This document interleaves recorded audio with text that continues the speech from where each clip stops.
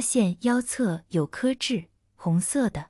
仙都不信，可以去看看我说的是真是假。不用证实，蓝湛都知道魏婴腰上有痣，因为魏婴的每一寸肌肤他都看过。不过魏婴和江城的话，到底谁说的是真的？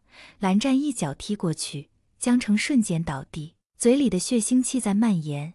他知道这次真的惹怒仙都了，不过还是很痛快。薛洋，把莲花坞给我灭了。是仙都，等等。让我再想想。蓝湛想起魏婴讨厌他的神色，又记起兄长和君父的嘱咐，他不该再不管不顾的冲动行事了。如果他真的把莲花坞灭了，魏婴会不会更加不原谅他？毕竟莲花坞是魏婴从小长大的地方。听说江丰年对他不错，如果把人杀了，或许他和魏婴真的走到头了。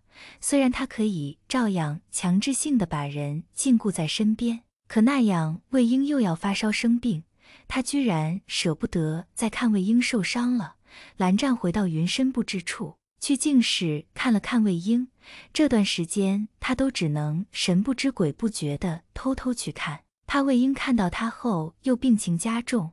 现在他都变得畏首畏尾了。魏婴正在午睡，房里很安静。趁着这个时候，蓝湛轻轻的走进去，小心翼翼的盯着人看。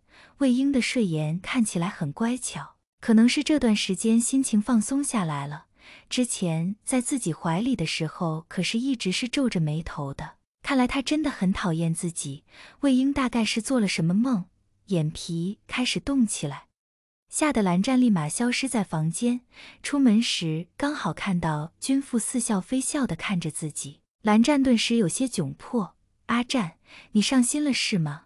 没有。你能骗你自己，可骗不了我。你那么费尽心思把人留在身边，不就是因为喜欢吗？那父亲呢？父亲把你困在这云深，也是因为喜欢你。可你不也是一辈子都没原谅他吗？喜欢是什么？蓝湛从来没有深究，从小到现在，他都不理解父亲为何要把君父禁锢在云深。现在他和他父亲清恒君一样，走进了一个名为爱的死胡同。他们一样的强势霸道，对看上的东西都抱着必须得到手的恶劣本质。他父亲当年为了和君父在一起，不惜打伤族中反对的长老，也要把人留在身边。那段时间的云深可以说是水深火热。最后被囚禁的秋明接连为他生了两个孩子，也换不来族人的认可。清恒君后来是怎么做的？杀了老仙都才保下秋明和两个孩子，到底还是为了爱人而背上罪孽，最后在寒潭洞忏悔。所以爱到底是什么，能让人如此偏激？蓝湛不想走父亲的老路，所以他不谈情不说爱，认为这样就能随时抽身。可面对魏婴，一切定数都改变了，所以他这是爱上魏婴了吗？作为一个领导者。蓝湛的成就无人敢诟病，他是历届上任仙都中年纪最轻的，能力最大的，短短几年就让原本纷乱的世间一派祥和。可他能力再大，手段再强，却不知道该如何爱一个人，把爱情当做一件事去处理，没有真正投入感情进去，只是一味的按自己的心意去做，到头来伤人伤己。想想他已经一个月没有见魏婴了。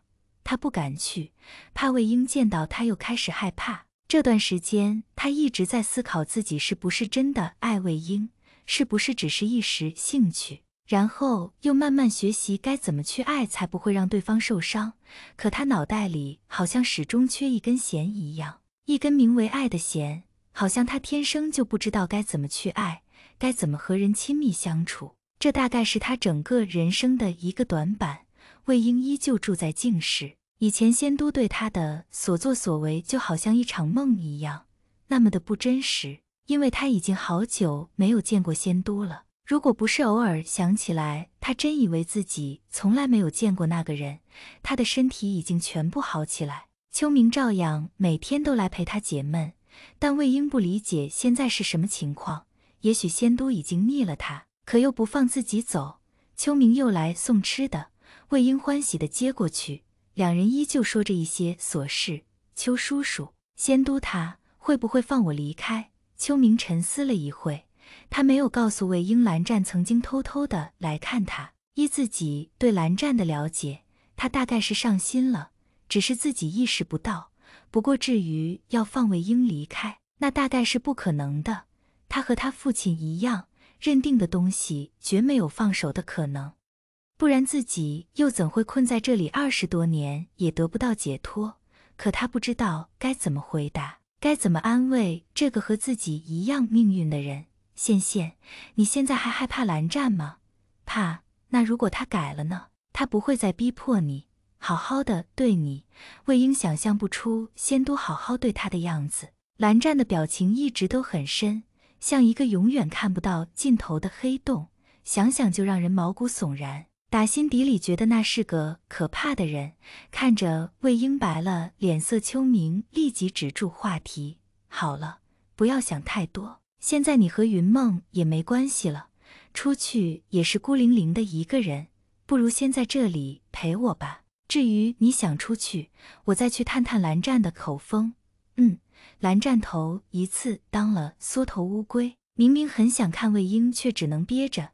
秋明一看到蓝湛就来气，阿湛，你到底要把魏婴怎么样？你这么逃避不是办法，实在不行把人放了吧，还他自由，也许这样他没那么恨你。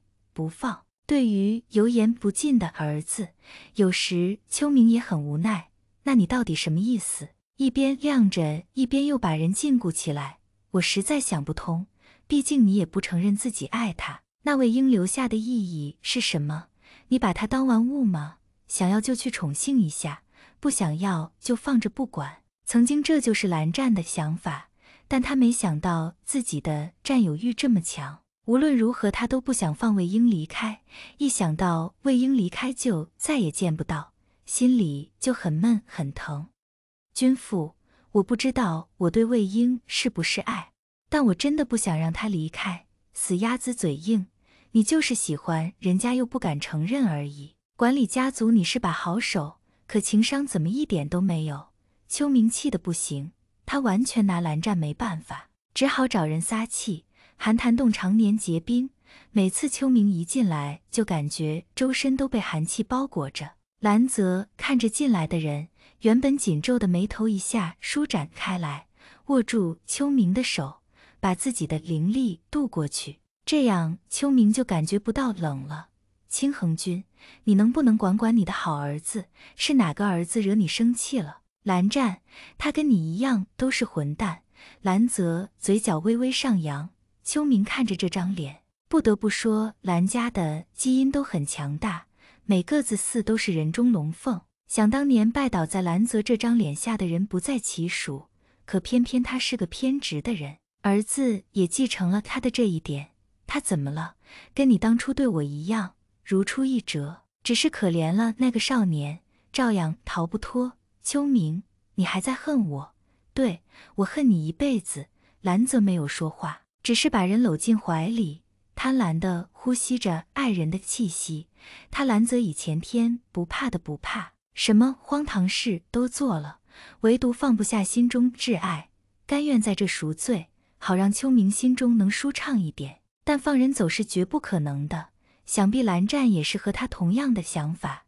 他们相传一脉，改不了了，这是刻在基因里的偏执。好好对待那孩子吧，蓝湛不会放人走的。哼，你们倒是心意相通，做的都不是人做的事。好了，难得来看我一次，不要再提别人了，我会吃醋的。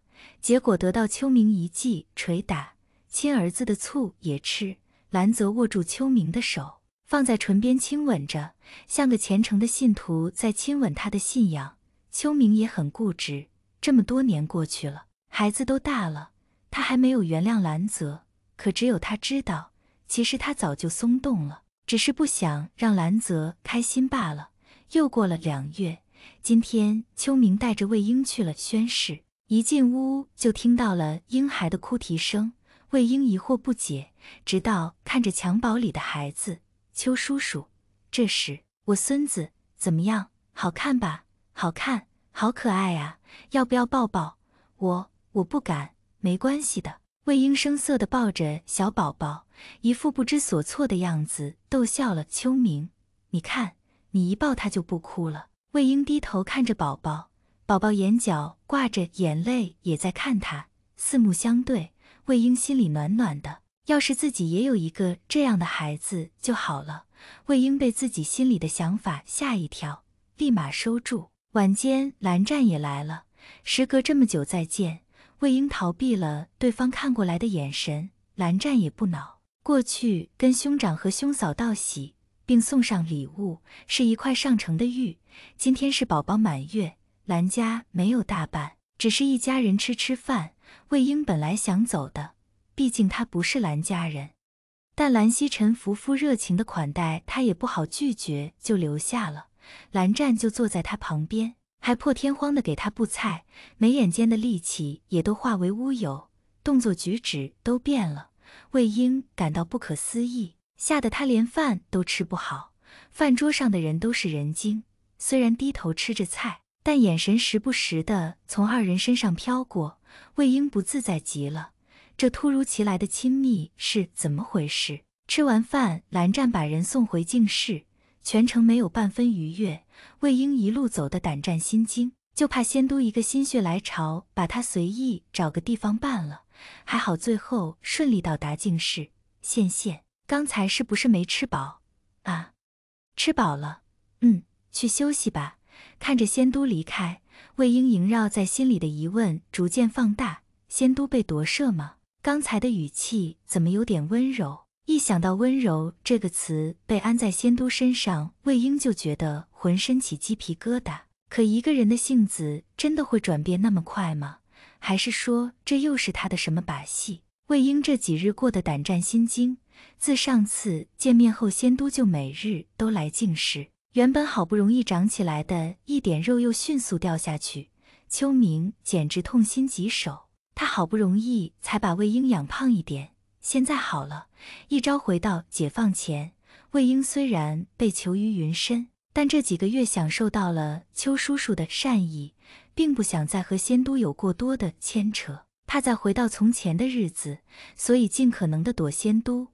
可他忘了，这本就是仙都的地盘，他能躲到哪？在又一次被仙都从柜子里找出来后，心灰意冷，索性破罐子破摔，躺到床上闭眼睡觉。蓝湛无奈地走过去，手刚碰到魏婴肩膀，就被他躲过去。羡羡，不要再躲我了，好吗？回答他的依旧是沉默。蓝湛完全不会追人，耐心又极差，在努力忍了又忍的情况下，给魏婴盖好被子，好好休息。我晚上再来。房间恢复安静，魏婴爬起来往窗外看，确定仙都真的走了，才放松下来。对于仙都，他是打心底里恐惧和厌恶。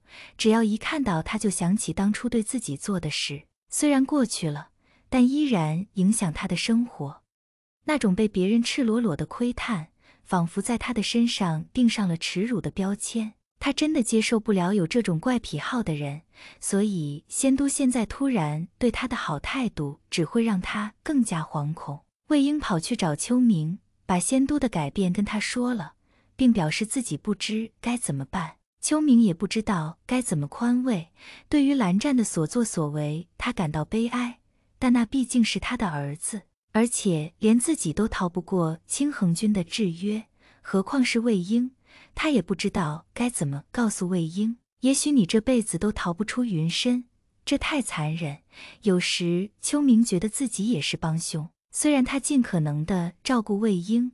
却不能帮他离开，只能眼睁睁看着他走自己的老路，无能为力。秋明突然伤感起来，魏婴看到邱叔叔突然流眼泪，心里慌了。